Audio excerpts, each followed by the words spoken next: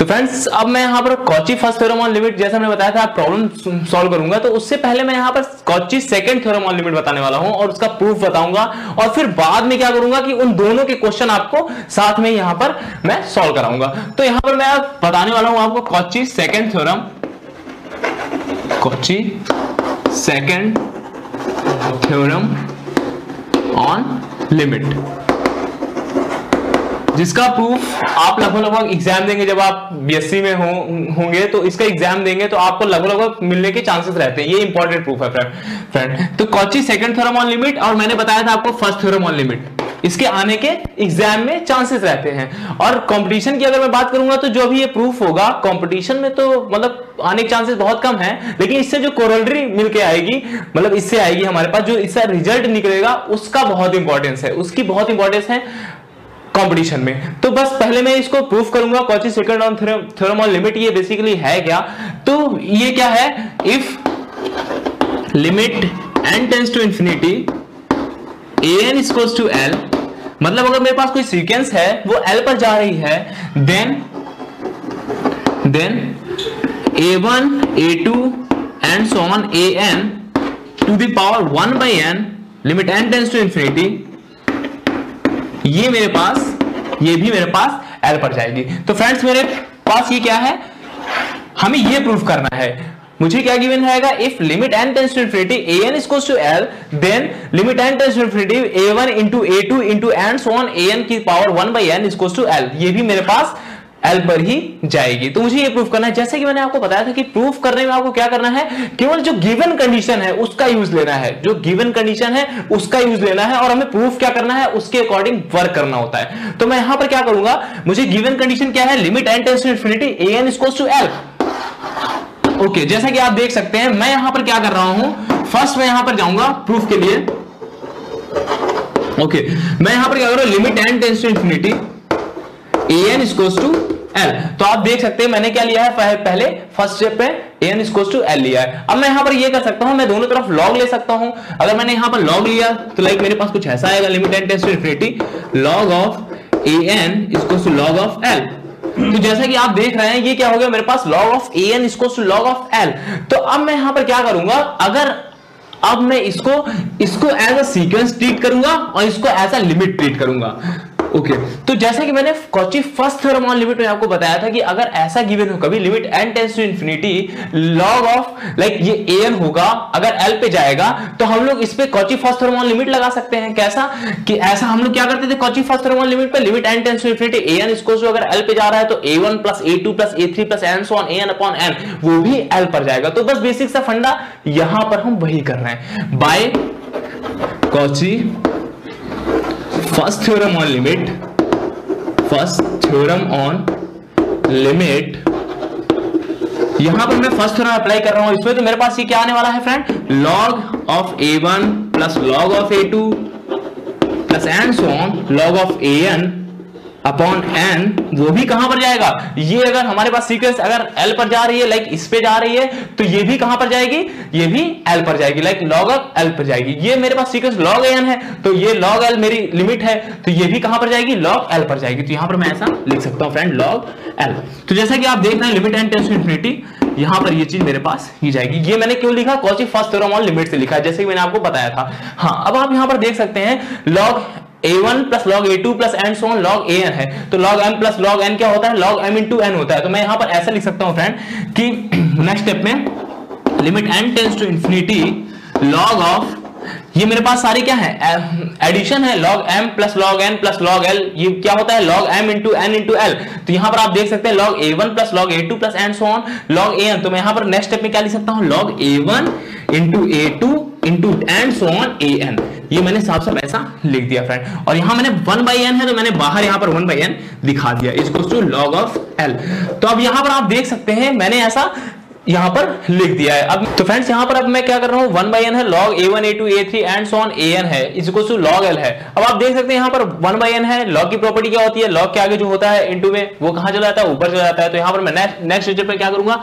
Limit n tends to infinity log of a1 a2 and so on an to the power 1 by n is equals to log of l.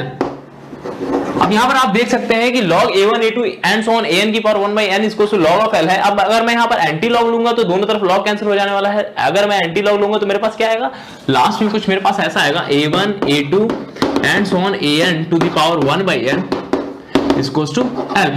Limit n tends to infinity तो जैसा मुझे proof करना था ये यहाँ पर मेरे पास आ चुका है। मुझे क्या प्रूफ करना था? Limit n tends infinity n इसको अगर ए है तो a one into a two into a three into and so on a n की पावर वन बाई एन कहाँ पर जाएगा?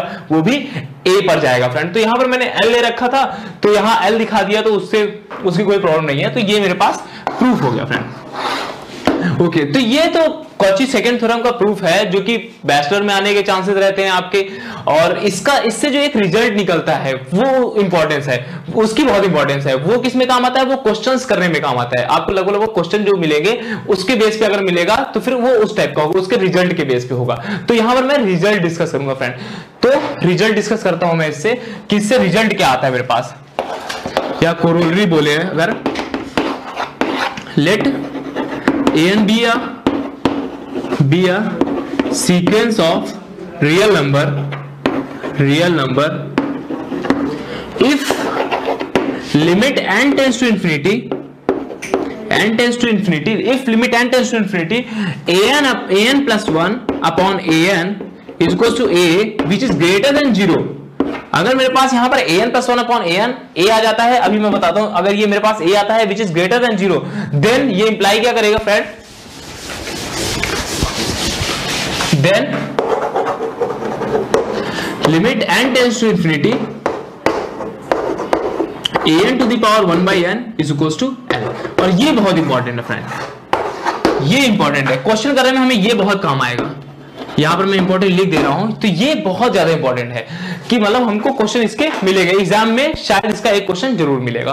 तो ये इंपॉर्टेंट है और कंपटीशन में भी शायद मिल सकता है क्वेश्चन मैं इसको बहुत इंपॉर्टेंट नहीं बोल रहा हूँ कॉम्पिटिशन के बेस पे, लेकिन हाँ एग्ज़ाम में आपके क्वेश्चन आने के चांसेस बिल्कुल बन रहे हैं इसके। ओके तो आप देख सकते हैं, मुझे गिवन क्या है? Limit n tends infinity n plus one upon n equals to a which is greater than zero तो मेरे पास प्रूफ क्या करना होगा? Limit n tends infinity a n to the power one by n equals to l तो करना क्या है बेसिकली यहाँ पर अगर मुझे कोई भी सीक्वेंस दी गई है, होगी ए एन की पावर वन बाई एन तो मैं क्या करूँगा? उस सीक्वेंस को निकाल लूँगा a n plus one upon a n करूँगा। अगर मेरे पास कुछ वैल्यू आएगी, वो ग्रेटर देन ज़ीरो आएगी तो पक्का मैं कहूँगा कि जो मेरे पास ए आएगा, वहीं पर ये कन्वर्ज करेगी। तो यहाँ पर मैं एल की जगह ये ए कर रहा हूँ फ्रेंड तो आप देख सकते हैं, यहाँ पर ये अगर ए पे जा रहा है तो ये भी क्या जाएगा? ये भी ए पर ही जाएगा। अगर मैं इसका प्रूफ देखता हूँ प्रूफ करने की इसको मैं कोशिश करता हूँ तो कैसे करूँगा प्रूफ मैं यहाँ पर क्या कर रहा हूँ फ़र्स्ट एलिमेंट को इसको वन पुट कर ले रहा हूँ। यहाँ पर मैं लेट कर रहा हूँ, ऐसा ऐसा लेट कर सकता हूँ। मैंने क्या किया? Let a naught is to one अब मैं यहाँ पर अगर फ्रेंड ए नॉट ले रहा हूँ, अब आप देख सकते हैं मैंने क्या किया है?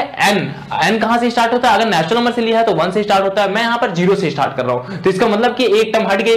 तो यहाँ अगर मैं इसकी एनथ टर्म देखूँगा तो एनथ टर्म मेरे पास अब क्या आएगी लास्ट में? ए एन क्योंकि एक टर्म मैंने हटा ली ज़ीरो से मैं स्टार्ट कर रहा हूँ। A n upon a n minus one क्योंकि नीचे क्या है? इससे एक कम है। तो लास्ट में इसकी एनथ टर्म क्या आएगी? A n upon a n minus one तो यहाँ पर मैं ऐसा लिखूँगा let a naught is to one then क्या होगा मेरे पास?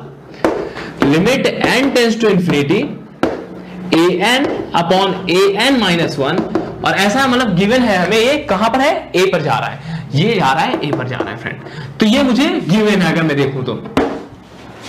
लेट ए नॉट इसको टू वन ये हमने ऐसा लेट कर रखा है। ए नॉट मेरे पास जो फ़र्स्ट है एलिमेंट लाइक फ़र्स्ट टर्म है, वो वन है मेरे पास। और यहाँ मैंने ऐसा, ये मुझे गिवन है। A n upon n minus one इसको टू ए ये मुझे गिवन है। मुझे इसको प्रूफ करना है। तो आप देख सकते हैं साफ़ साफ़ कि ये मेरे पास क्या है? ये एक सीक्वेंस है। ये एक सीक्वेंस है और ये एक लिमिट है। ये एक सीक्वेंस है, ये लिमिट है। तो मैं यहाँ पर क्या कर रहा हूँ फ्रेंड कॉची सेकंड थ्योरम लगा रहा हूँ यहाँ पर। जैसे कि मैंने आपको बताया अभी कि अगर कोई सीक्वेंस है लिमिट एंड इंफिनिटी पर किसी पॉइंट पर अगर कन्वर्ज करती है किसी पॉइंट पर जाती है तो कॉची सेकंड थ्योरम क्या कहती है? A one into a two into a three into n one n की पावर वन बाई एन वो भी कहाँ जाएगी? उसी पॉइंट पर जाएगी। तो बस यहाँ पर मैं कॉची सेकंड थ्योरम यूज़ कर रहा हूँ। तो यहाँ पर मैं लिख दे रहा हूँ बाई कॉची सेकंड थ्योरम अब आप यहाँ पर देख सकते हैं, अगर मैं सेकंड थ्योरम लगाऊँगा तो क्या होती है second theorem limit n tends to infinity a1 into a two तो इसका a1 पार्ट क्या आएगा? A1 अपॉन ए नॉट आएगा. Like a1 upon a naught into a two तो a2 अपॉन a1 देख सकते हैं टू पुट करेंगे यहाँ पर two minus one a one होगा.